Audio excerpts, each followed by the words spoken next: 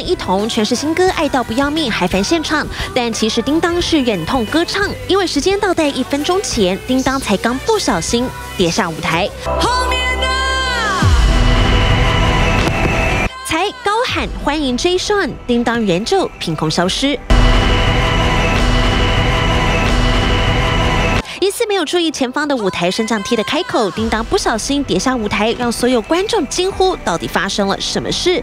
不过叮当还是非常敬业，五秒后还是镇定升上舞台继续演唱。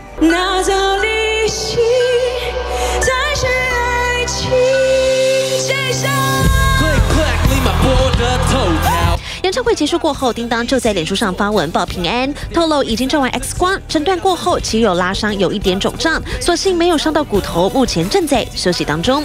原来叮当是今年超犀利趴演唱会的嘉宾之一，不止和 J 上合唱，也和五月天怪兽一同合唱。今年演唱歌星更是众星云集。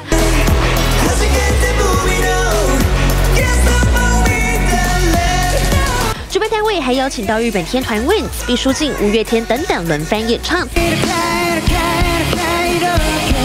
活动延续到星期天，只盼望这期间歌手们演唱都要小心，不要也失足跌倒，否则后果不堪设想。记者综合报道。